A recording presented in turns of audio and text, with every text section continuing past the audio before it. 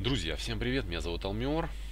Это видео, наверное, больше для новичков будет, те, кто только начали играть в игру на Верлинтер или думают начинать или нет. Э, для тех, кто уже играет, оно может быть не особо актуальным, но в принципе может что-то полезное вы для себя и почерпнете. Э, в этом видео мы будем разговаривать про VIP, стоит ли его брать или нет.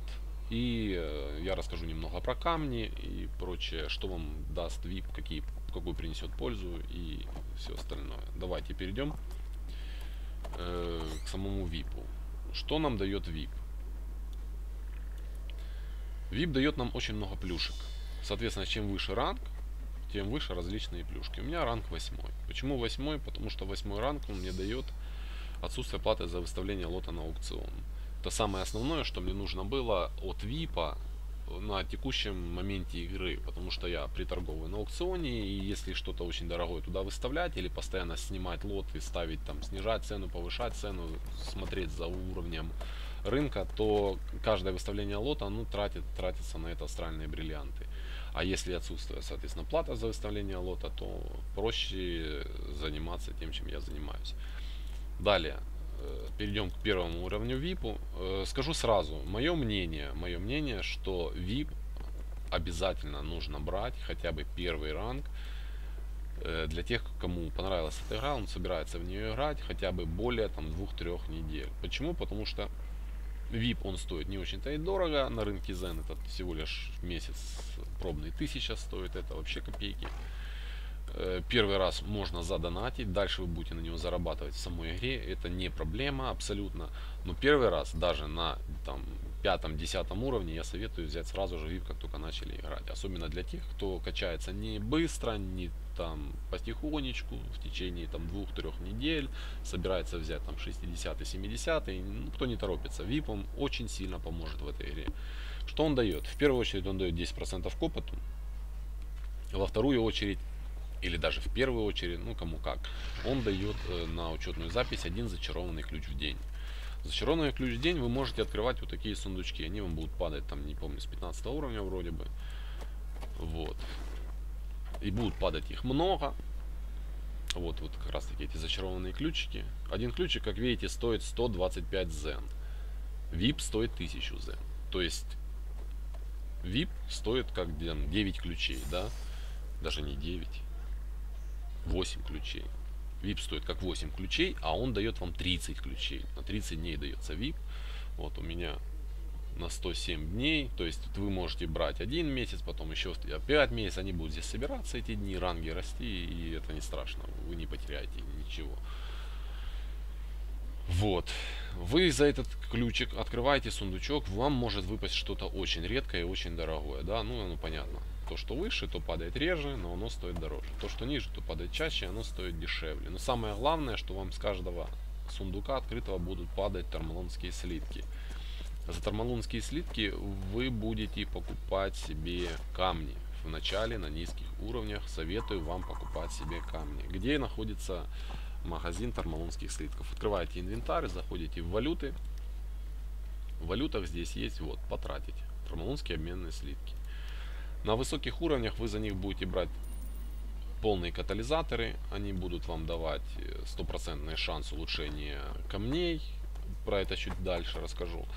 Но самое главное, вам на низких уровнях, когда у вас появятся слоты под полезность в шлеме, э, в перчатках и в ботинках по ножах, там слота идут на полезность. Вам нужно будет туда вставлять вот такой вот камушек. Желательно седьмого и выше уровня. Они стоят всего ничего по 6 тормалонских слитков. Соответственно, на низком уровне вы когда откроете один сундук, там может от 8 до 12 слитков за каждый открытый сундук падать. То есть за пару дней вы себе в эти в три шмотки вставите эти волшебные камни. Они каждый дают по 11 к получаемому опыту. То есть вам дает VIP 10 к опыту, плюс каждый камень, это под 3 слота будет давать еще 33 опыта. Это 43% опыта. Это в практически в два раза ускорит ваш кач. Вы некоторые локации будете просто перепрыгивать, потому что вам не надо будет туда идти, будете обгонять по опыту. Что еще хотелось бы рассказать? Про полный катализатор на высоких уровнях. Некоторые начинают, ну, делают, мне кажется, ошибку, начинают сразу же собирать на полный катализатор. Если вы качаетесь, повторюсь еще раз, медленно, не торопитесь, то вам не стоит собирать сразу же на полный катализатор, тем более на продажу их. Почему? Потому что вам нужно будет делать камни в оружие. Сейчас я покажу. Вот в оружие. Камни, которые улучшают ваш дамаг, или камни в броню, которую будут воскрешать вас. Вот стойкости души. Есть еще куча различных камней, это уже отдельная тема, возможно я создам это видео, возможно нет. Можете поискать в интернете, я думаю на эту тему очень много информации и на форумах, и везде. Э, что, почему нужен полный катализатор? Вот смотрите, вы выбиваете или покупаете у торговца, вот такие торговцы есть на площади, есть в локации Долина Ледяного Ветра. Вы сможете у них покупать ну, в принципе, на высоких уровнях, да, за вот такую валюту, за данжи будете проходить, вы можете покупать вот эти осколки волшебных камней. Чтобы соединить ос осколки в камень, вам нужно 4 осколка. 4 осколка. Соответственно, один вы типа улучшаете, и 3 дополнительно как реагенты идут. Но шанс крита, чтобы улучшить, у вас всего лишь 1%. То есть вам нужно чтобы не потерять вот эти реагенты, вам нужен катализатор сюда. Катализатор есть страхующий, зелененький, вот они вот так выглядят. Они тоже продаются на, на, за тормалонские слитки. Они вам не улучшают вероятность улучшения, они вам просто страхуют реагенты. Соответственно, вам нужен синий катализатор. Если вы сюда вставляете синий катализатор, у вас вероятность улучшения 100% становится. То есть все реагенты, которые у вас здесь будут, они никуда не исчезнут, а сразу же вы получите камень нужный вам. Поэтому нужны синие катализаторы. Но это уже тоже вам пригодится, скорее всего, только на высоких уровнях. По поводу персонажа. Э, есть еще один такой момент, хочу вам посоветовать. Э, когда вы дойдете до 60 уровня, у вас еще э, появится возможность ожерелья и пояс вставить камни на полезность. Это еще даст дополнительных 22% к опыту. Где взять эти вещи. Заходим на аукцион. Заходим на аукцион, экипировку, выбираем 70, не 70, а 60 уровень максимум. И самое главное, ставим тип волшебного камня полезность. Выбираем шею или талию, нажимаем поиск. Вот такое вам выпадает сразу с поиска пояс Латандера. Пояс Латандера, он дает вам слот на полезность. То же самое шея. Плащ Латандера. Тоже слот на полезность. Он еще дает класс защиты. В принципе, неплохие шмотки. Эти две вещи, ну, соответственно, вы видели, по сумме вам где-то надо 19 тысяч э, бриллиантов скопить. Э, как появится, лучше даже заранее купить эти две вещи, потому что рынок не постоянен. Может как дорожать, может дешеветь.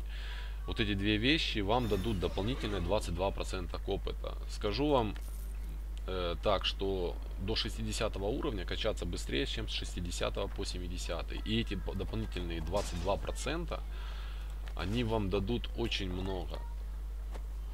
У вас изначально будет, если вы возьмете VIP, у вас изначально будет за VIP 10%, 33% за те шмотки, что я говорил, это шлем, тапочки и наручи. Это 33, 43. И соответственно, 22, это будет 60, 65% к опыту. Это, в принципе, хорошая прибавка, 65% опыта. Я советую ее брать всем. Помимо этого, еще можно найти вот такие свитки на опыт. Это дополнительная, вот здесь будет у вас появляться шкала. Ну, соответственно, как за отсутствие в игре, то же самое она накапливается. Дополнительный двойной опыт. Соответственно, если вот использовать вот этот свиток на 100 опыта, да, ну у меня он сейчас задействованный нет, вот, смотрите, видите, добавилось. То это еще дополнительные, скажем, 50% к опыту. То есть получается 50 плюс 65, это более 100%, 100 к опыту. Где взять эти свитки? Их можно получить за коды, бонусные коды к игре. Как вводить эти коды, где их взять? Сейчас, насколько я знаю, рабочих кода только два. И есть еще сайт, э, где регистрируетесь, вам третий дают код. Это получается три свитка. Это я сделаю отдельное короткое видео. Там будут и коды, будут как их вводить. Так что следите за новостями на нашем видеоблоге YouTube.